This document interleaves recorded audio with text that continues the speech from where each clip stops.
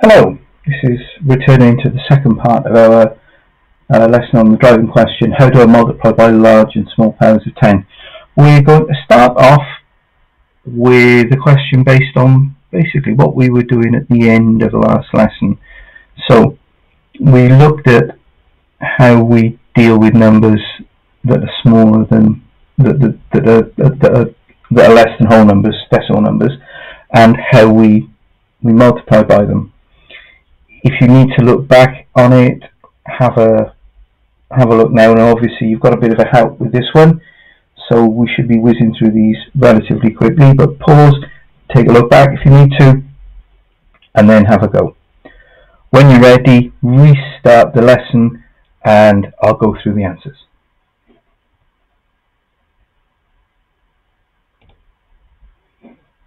So let's have a look at this. I know because I'm told that 17, sorry, 12 times 17 is 204. And what I'm after, what I'm trying to work out is what is 1.2 times 1.7. Now, remembering how we did this previously, I would 1.2 sorry. 1.2 is the same as 12 divided by 10 1.7 is the same as 17 divided by 10 so altogether I've got 17 times 12 divided by 10 divided by 10.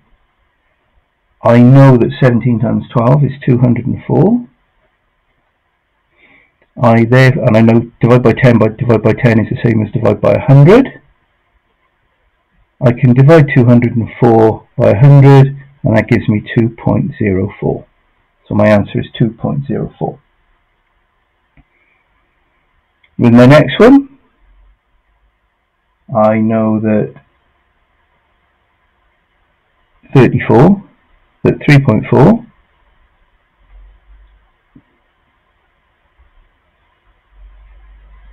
is 34 divided by 10 and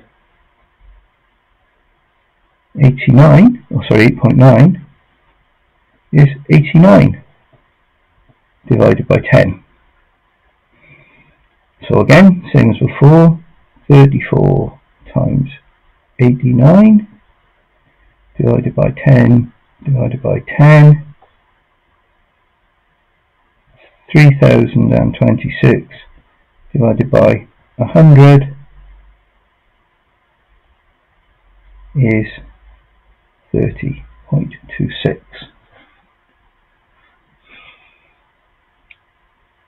and lastly I won't bother writing down these because we know how this works now.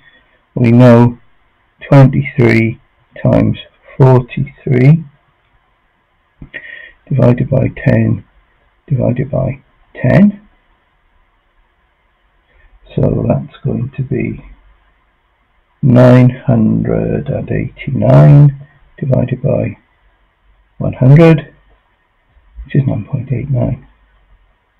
So those are my answers. 2.04, oh sorry, 30.26 and 9.89.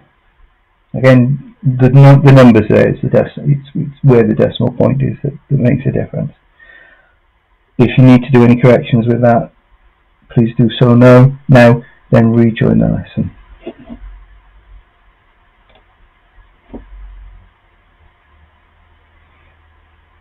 So, can you write this question down, please? I'm going to go through this myself, but I would like you to write this down and, and have a little think about how we might approach this.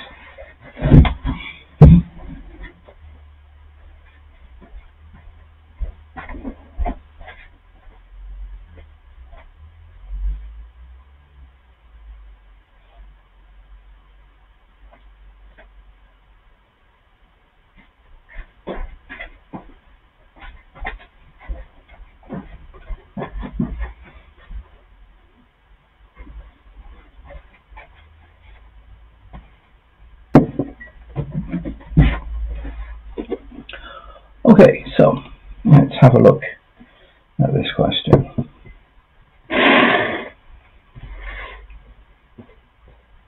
So the first thing I'm going to do is I'm going to perform an estimate. I want to know roughly what this answer should be. So 2.6 times 3.2. If I'm going to estimate the answer to that, what I've got to do is convert them into one, one significant figure. So that's going to give me, so this is approximately equal to 3 times 3, which is 9, which is approximately 9. So my answer is going to be about 9. It's not going to be exactly 9, but it's going to be about 9. So how does that help me? Well, now I'm going to do a multiplication. I'm going to actually just forget about the decimal point for a minute. I'm just going to multiply the numbers together. So I'm going to multiply 26 times 32. It Doesn't matter what order I do them in. So 2 times 6 is 12, put down a 2, carry the 1. 2 times 2 is 4, add 1 is 5. 226s are 52. Now I'm going to multiply by 30, so I write down a 0. 3 sixes are 18, put down an 8, carry the 1. 3, 3 twos are 6, and 1 is 7. And now I'm going to add those numbers together. 2 and 0 is 2. 5 and 8 is 13, put down a 3, carry the 1. 7 and uh, 7 add 1 is 8. 832. 832.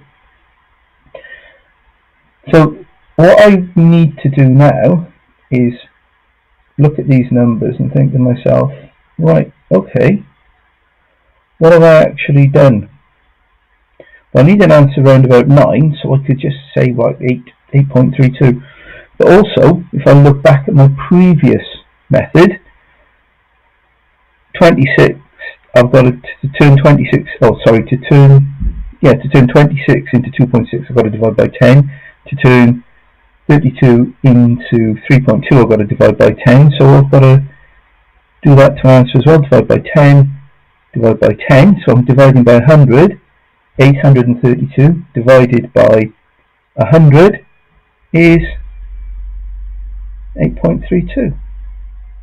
So my estimate of 9 is pretty good. Also, I can use it to make certain that it, it fits into this question. So that's the method that I would like you to use for the next questions that we've got coming up, please. I would like you to multiply them together as whole numbers and then I would like you to use whatever, you know, the, the values of the powers of 10 that you need to multiply by or divide by. Same as we did last lesson, same as we've just done on that previous question. So if you haven't got all that written down, please pause the lesson now whilst you do so.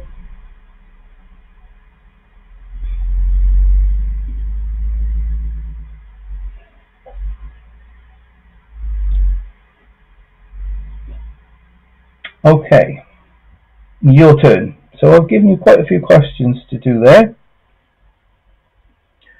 So I'd like you now to work your way through. Again, bear in mind, please, that these questions are to be done as uh, without the use of a calculator. I don't want to use a calculator at the end to check, but I want you to use a mental method, remembering and revising your um, your multiplication, your long multiplication method. Okay, when you're ready, pause the lesson and answer the questions, please.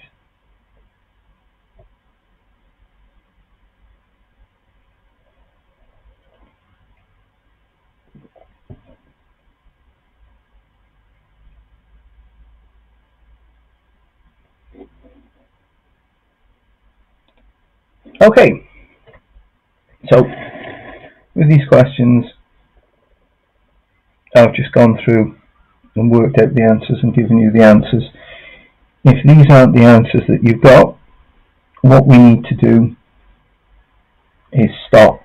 Or what you need to do is stop, go through your work, find your mistake. it's probably going to be in the arithmetic. You've probably done something like multiplying 6 by 7 and getting 36 or something like that. You know, you've made a, a silly little arithmetical error that will be very easy to find out when you look at it. So just take your time, please. Work your way through your mistakes and uh, be ready to carry on in a few moments. If you didn't make any mistakes, congratulations, you've done really well.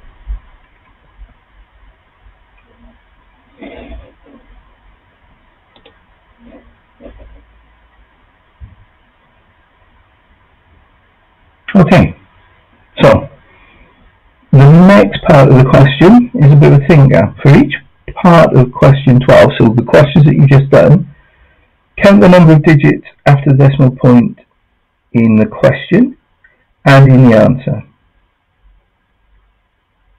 What do you notice? So both the numbers in the question and all the numbers after the decimal point in the question, all the numbers after the decimal point in the answer. What do you notice?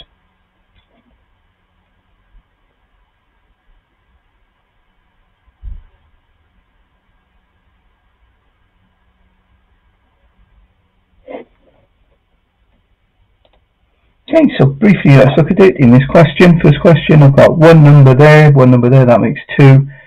Two numbers in the answer. Two numbers in the question, two numbers in the answer. Two numbers in the question, two numbers in the answer. Two numbers in the question, two numbers in the answer. Three numbers in the question, three numbers in the answer. Three numbers in the question, three numbers in the answer. Three numbers in the question, three numbers in the answer. Three numbers in the question, three numbers in the answer. Three numbers in the question, three numbers in the answer. So there seems to be a bit of a rule.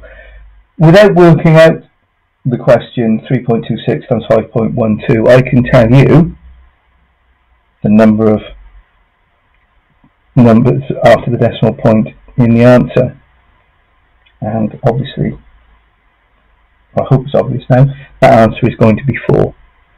So that's a a really useful check that you can use to help make to see if you've got your answer correct. Have I got the right number of answers numbers after the decimal point, which is really really important when you're dealing with questions like this. Okay, if you understand that or you, you think you've got that written down, we'll carry on. Otherwise, pause the lesson just for a few moments and get ready to carry on.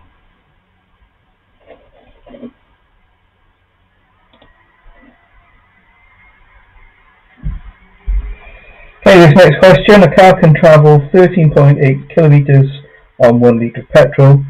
How far can it travel on 8.8 litres of petrol? When you're ready, pause the lesson and start answering your questions.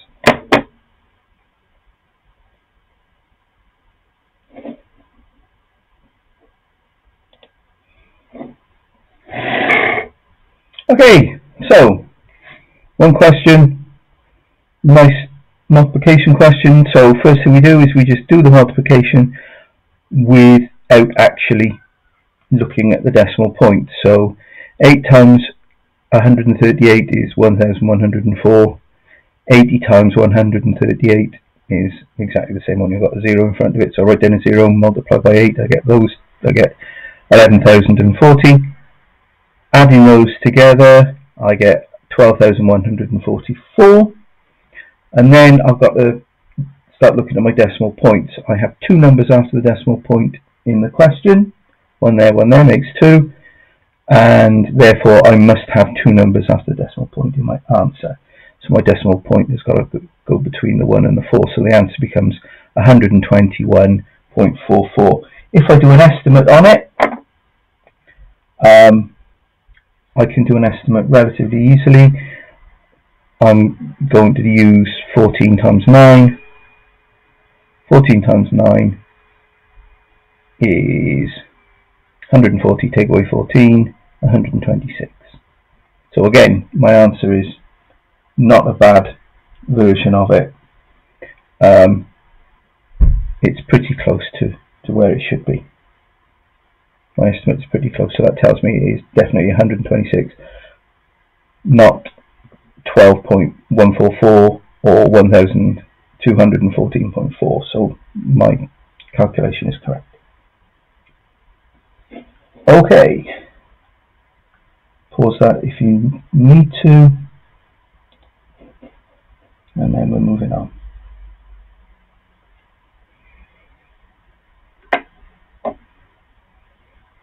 Use the multiplication facts to work out the answer. So at this point, we should be able to do this pretty quickly. Um, use the, the material that we've just found. Uh, answer the four questions, please.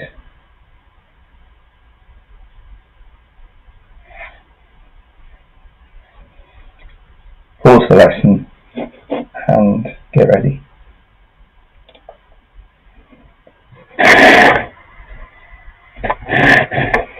Okay, so now really, this is very, very easy to write down. Uh, 3.6 times 0.14 equals, now I know the digits are going to be a 5, 0 and a 4. The only thing I have to decide is where the decimal point goes.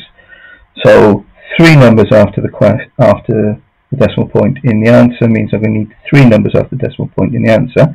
So my decimal point is going to be there, so I've got to put a 0 on front, 0 0.50, 0 0.504. For my next one, 10.8 times 0.04. Again, I know that there are the digits are going to be a 4, a 3 and a 2. Once again I've got three numbers after the decimal point, so my answer must be that. Then 0.36 times 7.2, this is going to give me a 2 a 5, a 9, and a 2, with three numbers after the decimal point, 2.592. And lastly, 8.94 times 0.32 will give me an answer of 2, 8, six, zero, eight with one, two, three, four numbers after the decimal point, one, two, three, four numbers after the decimal point, 2.8608. So in reality, with that question, you don't actually do any multiplication. It's all done for you. All you have to do is to decide where your decimal point goes. If you need some time to write the corrections, pause the lesson now and rejoin as soon as you can.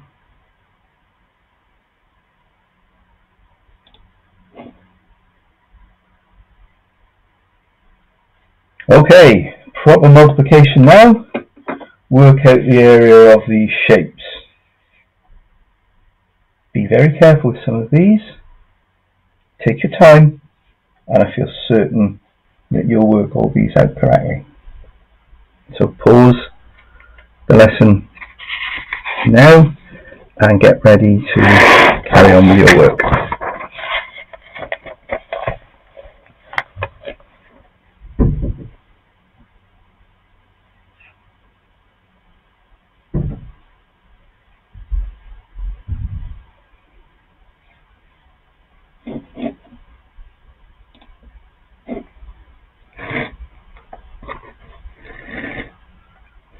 Okay, we'll make a start the first one's pretty easy.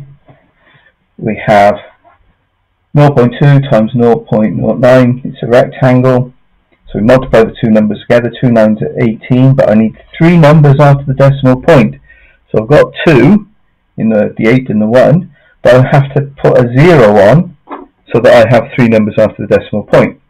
So my answer is 0.018 of a square metre. The next one, I multiply 3.4 by 1.2. gives me 4.08 square meters. If you left it there, you've made a slight error because that shape is a triangle. So we have to halve it. So we have to divide it by 2 to give me an answer of 2.04 square meters. The next shape is a parallelogram, base times height, so 7.9 times 6.6, multiply it out, two numbers after the decimal point, 75.24 square centimeters. D, another parallelogram. So it's multiplying those two numbers together. Two numbers after the decimal point again to give me 503.88 square centimeters. And lastly, E, another triangle. We multiply the two numbers together, add them, divide by 2, and then have two numbers after the decimal point, 136.88 square meters.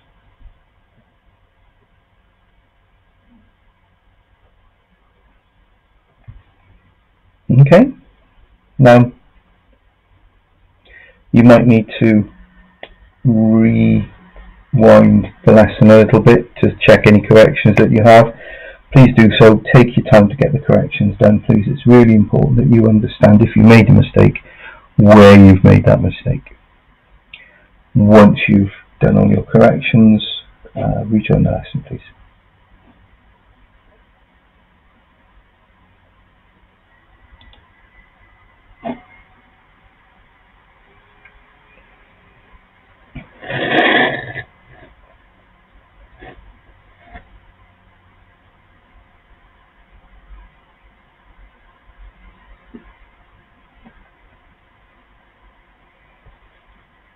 Okay, Anita's planning to paint the walls of the living room.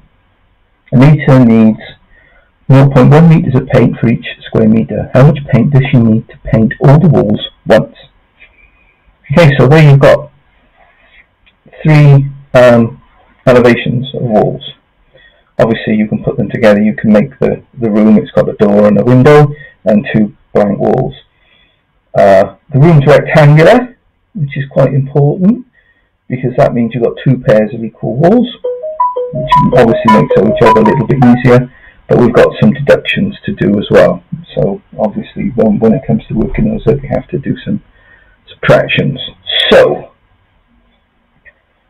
work your way through that please. When you've done so, sorry, pause the, pause the lesson, work your way through it. When you've done, when you've done so, rejoin, rejoin me as I go through the work.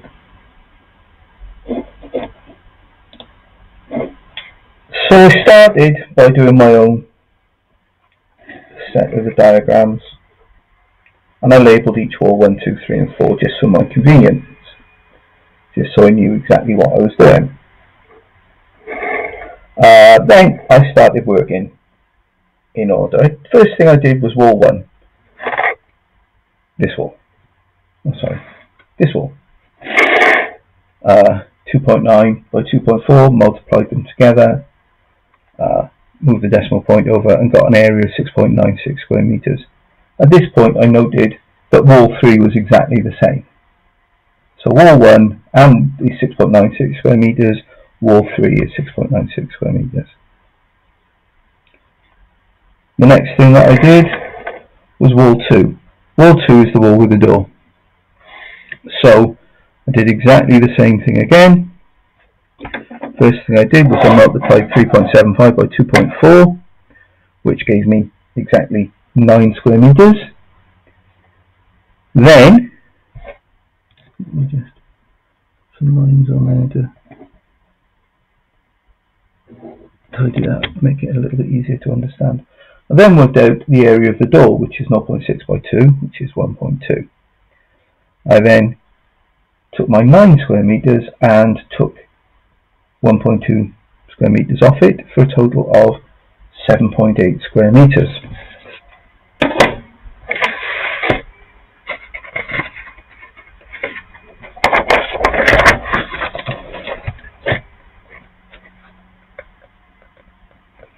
Now I also know, I then worked out the area of the window. 0.7 by 0.65 gives me 0.455. I know that wall 4, the wall with the window in, is the same overall size as wall 2, the wall with the door in. So I took the overall size of that wall, which was 9, and took 0.455 off it to give me 8.4, 8.545 square meters for wall 4. At that point, I added the area of each wall together. Labelled, and I got a total area for all the paintwork in that building of 30.265 square metres. I've been told that me, that the area of the wall, or that the, the paint, each 0.1 litre of paint covers one square metre. So I've multiplied 30.265 by 0.1. As we know from way back at the start of this lesson, not this period, not this video, the one before, multiplying by 0.1 is the same as dividing by 10. So I just divided that by 10 to give me 3.025 of a litre litres and that's how much paint you need. So a little bit more than 3 litres she couldn't just buy 3 litres she'd have to buy 4 litres to paint the walls. If you need to rewind a little bit just to check on where I got all these measurements from. Please do so now. Make certain your corrections are right. And um, when you're ready rejoin the lesson please.